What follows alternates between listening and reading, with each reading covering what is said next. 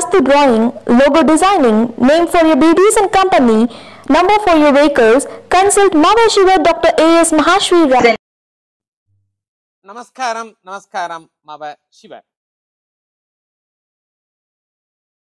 ஒரு சாரருக்கு இந்த seven and half ஏழரை வந்துருச்சு ரொம்ப பயமா இருக்கு என்ன செஞ்சிருமோ அதை செஞ்சிருமா இதை செஞ்சிருமா அப்படிங்கிற ஒரு எண்ணங்கள் பயம் இருந்தே தீருது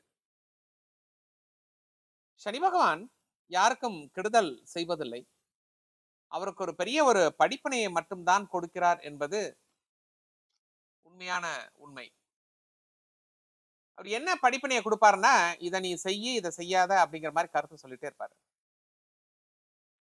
இப்ப நம்ம இதுல இருந்து வெளியில வரதுக்கு என்ன செய்யலாம்னு கேட்டீங்கன்னா இந்த பவளமல்லி செடியில் இருக்கக்கூடிய விதை எட்டு வடக்கு புறமாக செல்லக்கூடியது அல்லது கிழக்கு புறமாக செல்லக்கூடிய அந்த விதையை எட்டு விதையை எடுத்து ஒரு நீல நிற துணியில் கட்டி வீட்டில் வச்சு பூஜை செஞ்சாலும் ஏழரை குறைவதற்கு வாய்ப்பு உண்டு அல்லது இந்த நீல நிற துணியில் எட்டு இந்த பவளமல்லி விதையை வைத்து அதை நல்லெண்ணெயில் முக்கி அதை சனி பகவான் முன்பாக அதை தீபமாக போடப்பட்டாலும் அந்த தோஷம் குறைந்து காணப்படும்.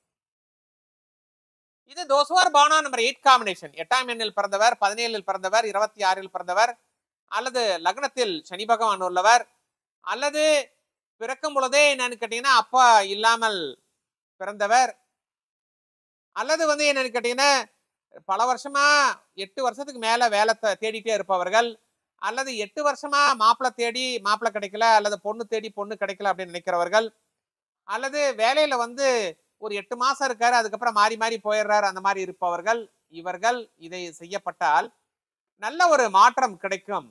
நல்ல ஒரு மாற்றம் கிடைக்கும். ஆகவே இது ரொம்ப ஒரு எளிமையான ஒரு எளிதான ஒன்று இதை நீங்கள் செஞ்சு பாருங்கள் உங்களுக்கு பிடிச்சிருந்தா உங்களுக்கு தெரிஞ்ச நாலு நண்பர்கள் சொல்லுங்கள் அவங்களும் சைட்டம் அந்த பிரச்சனைல வெளியில் வரட்டும். ஸோ எல்லாமே மனிதனாக பிறக்கப்பட்டால் எல்லாமே என்னென்னா ஒரு முயற்சி தான். ஒரு ட்ரை தான். நம்ம செஞ்சு பார்ப்போமே. தவறு இல்லை. செய்து பார்ப்போம். கண்டிப்பாக இந்த ஏழரை தாக்கத்திலிருந்து வெளியே வருவோம். அன்புடன் டாக்டர் ஏஎஸ் மகாஸ்ராஜன் மாவ சிவ.